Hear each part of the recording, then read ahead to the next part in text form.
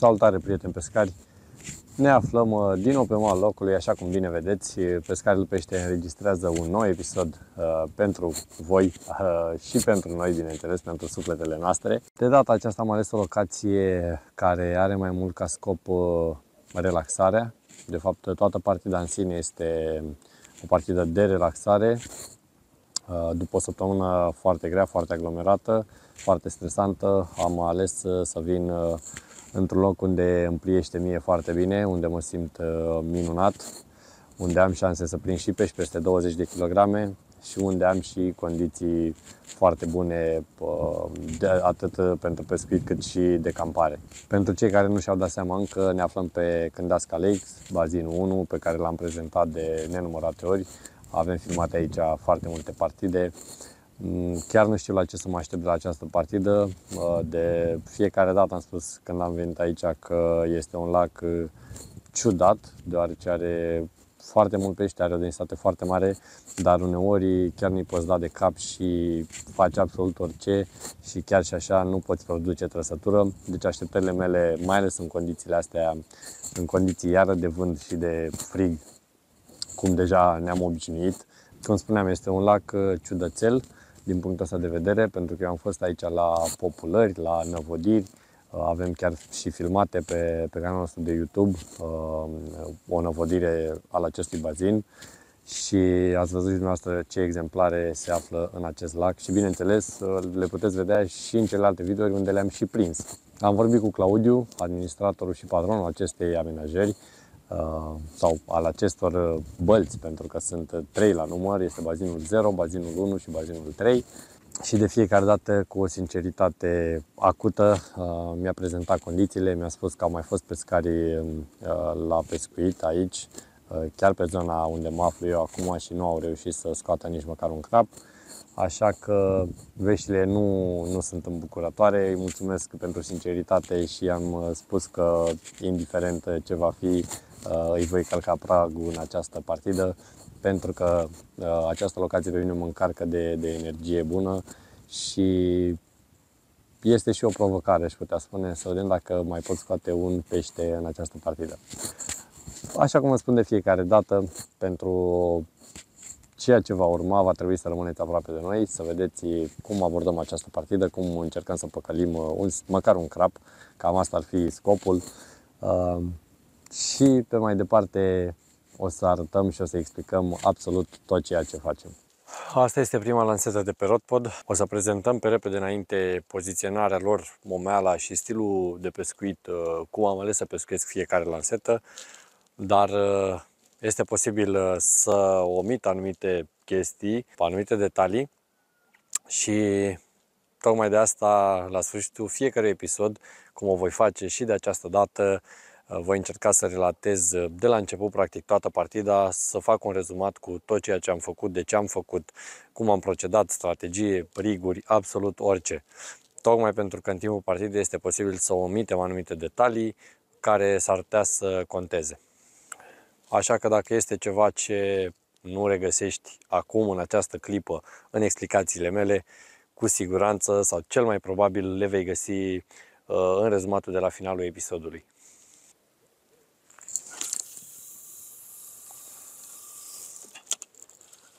Prima lansetă, un momitor, nadă, rig scurt, rig finuț, un pop bicolor de 1 mm de la senzor. Uh, poziționarea este undeva dată în uh, standul 1, uh, cam la 15 metri de, de mal, este pură intercepție. Vedem dacă își face veacul crapul în acea zonă. Urmează să reîmprospătăm și lanseta numărul 2, iar cu această ocazie am zis să vă și dau câteva detalii cum am ales să o pescuiesc, poziționare și așa mai departe. Uh, deci avem un uh, plumb uh, inline de această dată, un plumb pentru pastă. Aleg să-l folosesc simplu, ca atare, fără pastă, pentru că am observat că rastul este destul de activ și încerc să evit acest lucru. Un rig cu fir cămășuit de 13-14 cm, un snowman micuț, un cârlig numărul 8, și sperăm ca aici să vină primul mustăcios. Am mare încredere în acest ansamblu și asta sper să-mi aducă prima trăsătură de crap. La fiecare lansare vom adăuga și câte un săculeț solubil din două motive. O așezare cât mai bună pe substrat și bineînțeles o un plus de atracție acolo în zonă.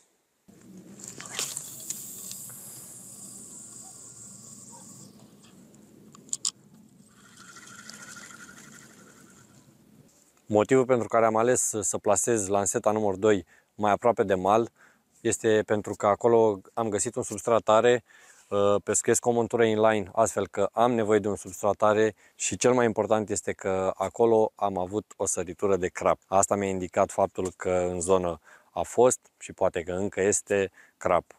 Lanseta numărul 3, bineînțeles montura mea preferată, nelipsită în pescuitul crapului, o montură elicopter, un plumb tot pentru pastă pe care îl voi folosi tot simplu, un plumb de 70 de grame. Aleg să folosesc uh, plumbi cât mai ușor pentru că distanța îmi permite acest lucru și astfel um, scufundarea lui în mol este mai uh, improbabilă, uh, cu atât mai mult cu cât îl folosesc pe, pe o montură elicopter specială sau potrivită pentru, pentru pescuitul pe substraturi măloase un rig de 18-19 cm cu un fluorocarbon subțire. Am ales această lungime tocmai pentru că pe stand am prezent și substrat mălos, astfel că rigul îmi va sta deasupra acestui uh, substrat. O bilă de 20, un cârlig numărul 6, un rig un pic mai, uh, mai pentru peștișori, mai măricei, să le spunem așa, dar îi așteptăm și pe ei pentru că știm că um, acest lac ne garantează faptul că există exemplare de peste 20 de kg. Cu siguranță și unul de 5 kg poate pofti la așa ceva.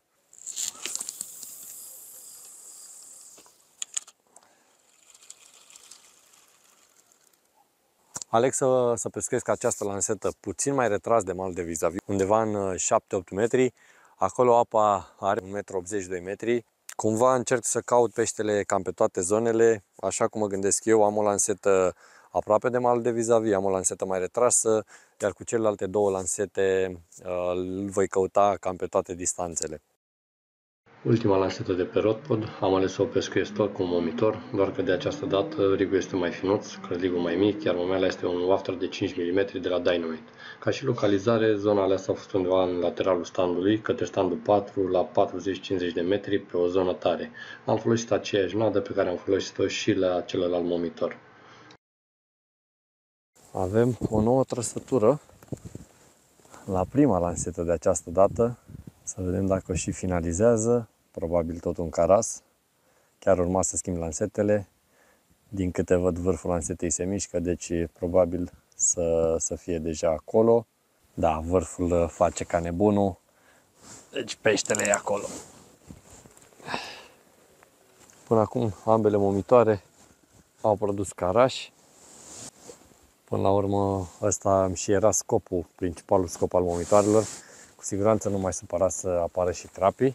Dar uh, acum, pe timpul zilei, cât încă am uh, un pic de soare, chiar am vrut să mă joc, uh, să aud avertizorii și să mă joc cu niște carași mari.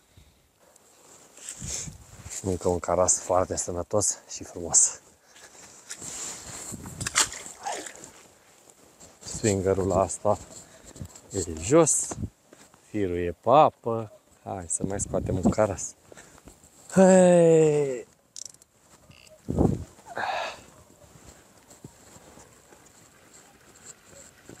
Nu știu dacă este, oricum firul era pe apă. Nu este, dar nu e niciun fel de problemă. În continuare, nada lucrează exact cum îmi place, exact cum îmi doream. Și vedem ce se întâmplă mai departe. Cred că avem un nou caras.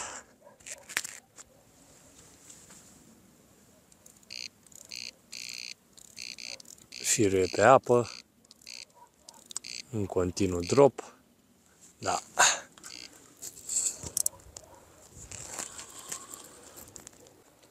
Domnul, ce carași superbi.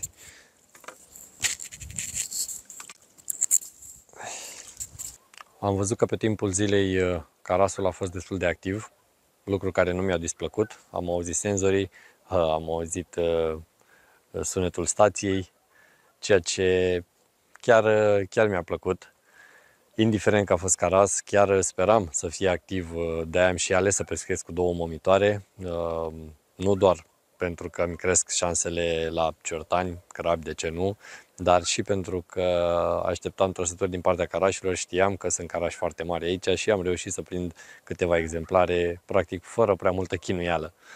Dar odată ce noaptea se va așterne bine de tot peste noi, cu siguranță voi uh, înlocui lansetele, voi trece cu monturi speciale pentru pescuitul crapului, asta pentru că nu aș vrea să fiu trezit în toiul nopții la temperaturi de 1-2 grade de către un caras și astfel sper că voi selecta uh, carasul uh, în mod special și astfel uh, voi încerca să selectez crapul, uh, realocând alte riguri, alte monturi, altă strategie cu cele două lansete. Iar al doilea motiv este acela că um, în aceste perioade, în perioadele reci, uh, ai șanse mult mai mari să prinzi crab noaptea pentru că este o idee mai activ și atunci îți cresc și șansele. Atunci cu patru lansete uh, special pescuite pentru crap, poate într-una dintre ele uh, se va opri un crap la poze. Da, n-a făcut la swinger, dar vârful lansetei îmi indică altceva. Probabil cam în uh, două ore voi uh, trece cu toate lansetele pentru crap.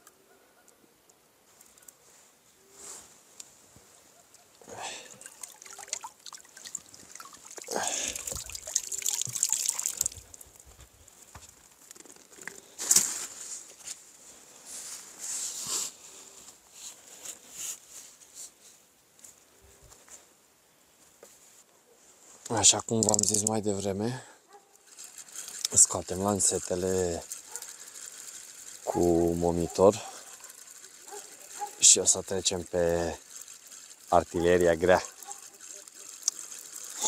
O să avem în apă, pentru această noapte o să avem în apă două monturi inline cu snowman și două elicopter cu bilă simplă. Lanseta din stânga va fi înlocuită cu un elicopter, plumb 80 de grame, rig fluorocarbon subțire de 12 libre, ca și grosime ar fi undeva la 0,30, bilă critic echilibrată de 16, un cârlig mic de la senzor, va fi poziționat undeva la intercepție, undeva la 30-40 de metri. Știu că sunt uh, dese perioadele când uh, peștele aici pe Cândeasca se hrănește astfel în 20, 30, 40 de metri, prinzi destul de bine din uh, distanțele astea, mai ales pești mari. Asta o să și încerc, uh, o voi da absolut fără nimic, pură intercepție și sperăm că un mustăcios va trece pe acolo și va pofti la această lansetă. În zona unde a aterizat uh, această lansetă, această montură, este o zonă predominant măloasă și chiar sunt curios uh, de, de rezultat pentru că îmi doresc să încerc și această variantă. În perioada aceasta, în perioadele astea ale anului, perioadele reci, putem regăsi crapul uh, foarte des, făcându-și viața de zi cu zi prin zonele astea măloase.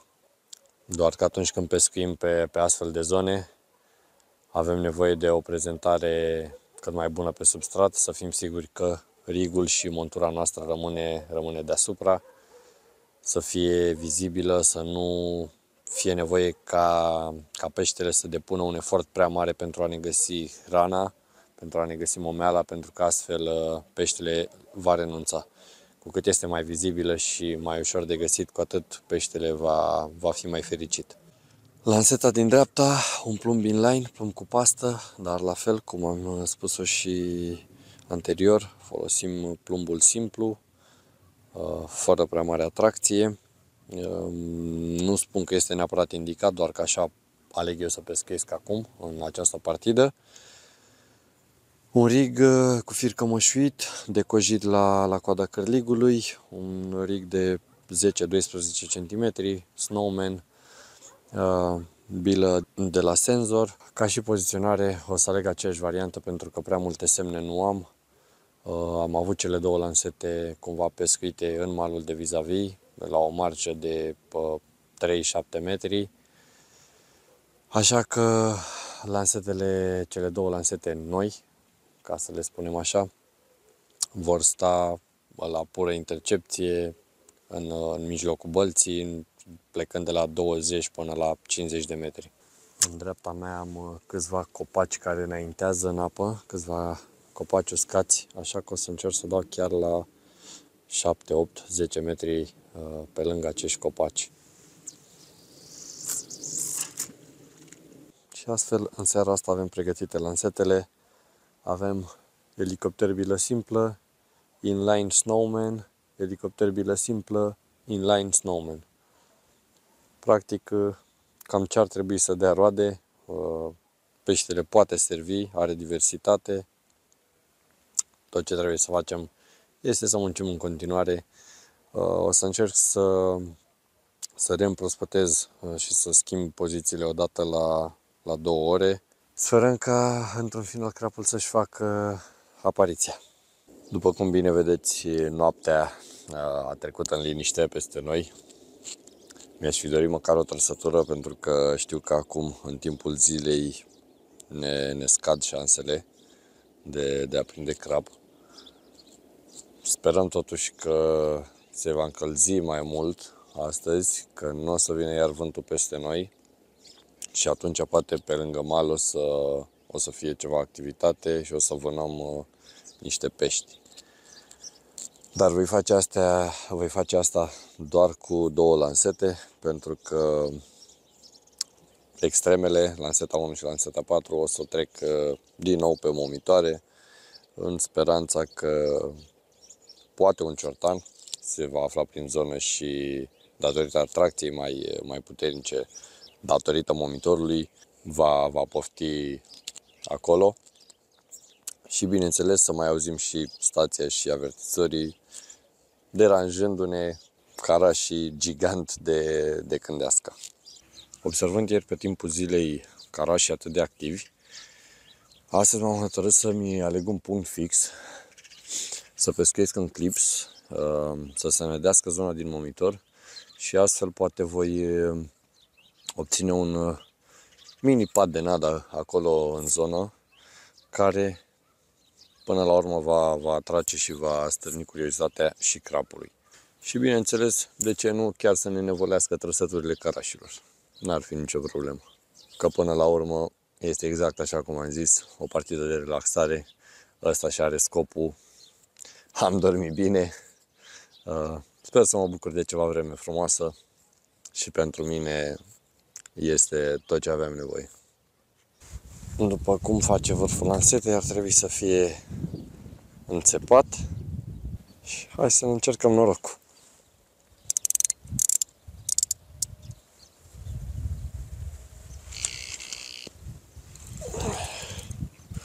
Da, primul caras la monitor, la doar un sfert de oră de la lansare și mă bucur că am pus și clipsul și voi pescui exact aceeași zonă.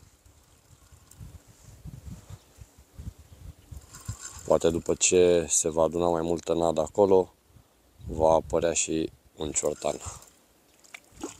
Deci carașii ăștia, ca o paranteză, au drill de, de ciortan de un kg jumate, două kg. Deci atât de nervos uitați-vă cum trage de vârful lansetii.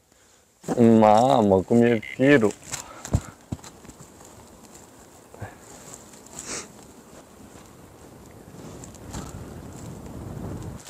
Caraz la kill, băieți.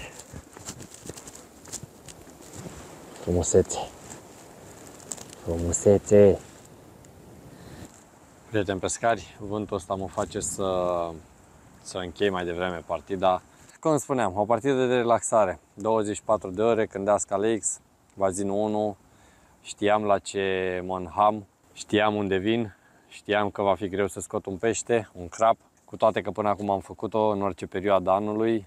Am ales uh, atât atmosfera de aici, de la lac, uh, cât și amenajările, condițiile, peștii, bineînțeles. Știam că dacă va fi să intre un crap, uh, am șansa să dau de un pește chiar de peste 20 de kilograme.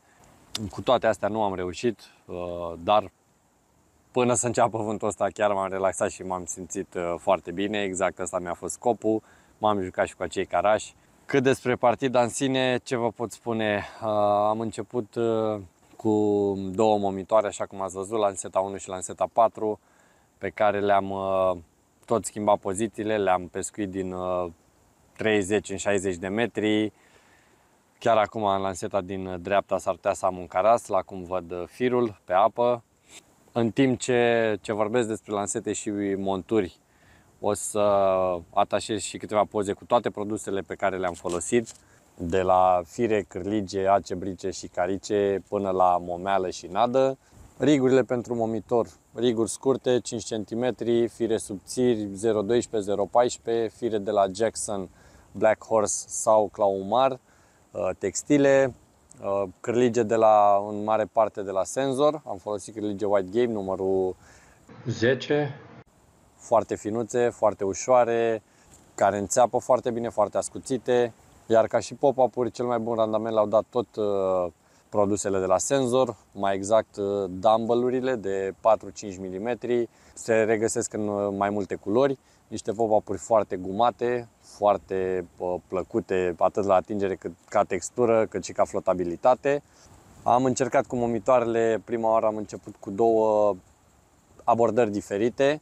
Momitorul din stânga, Lanseta 1, a fost cu un rig un pic mai uh, mare, uh, o momeală un pic mai mare, o momeală de 8, cărligul așezat uh, în coadă și în vârf, pe substrat, deci nu ascuns. Am încercat cu acel rig poate să capturez ciortanii.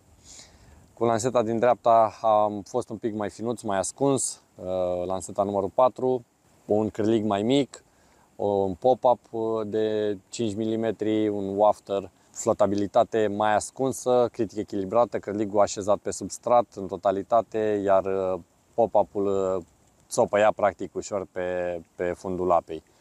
Am văzut că această abordare mi-a adus cara și astfel că am schimbat și lanseta din stânga, am început să produc și cu lanseta din stânga, lanseta 1 caraș, m-am jucat cu, cu carașii, am ținut mereu, pe toată durata partidei de lansată din stânga, am ținut o retrasă undeva în maxim 50 de metri, am pescuit cu ea pentru că am considerat că pot crea un culoar de trecere pentru peștele din uh, stânga, mai ales că vântul mi-a bătut predominant din partea stângă și am crezut că poate îl va împinge către lansetele pentru crap, mai exact lanseta numărul 2 și 3.